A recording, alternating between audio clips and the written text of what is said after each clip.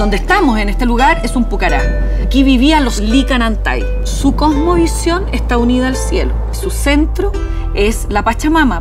No existe un ser único, sino que si hay tierra, hay cielo. Sus pucarás también estaban hechos según las referencias del cielo, del solsticio y de los equinoccios. Y eso es lo que lo hace increíble.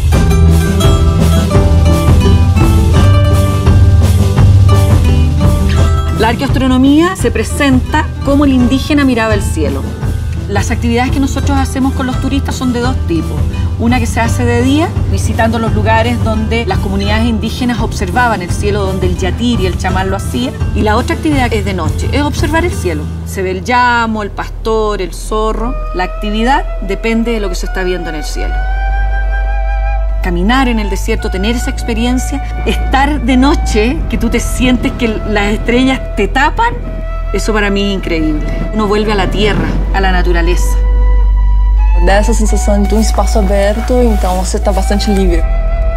Eu aconselharia não perderem da observação de estrelas, porque é bastante mágico. Hay y existe la cultura andina. Están los quechua, los aymara.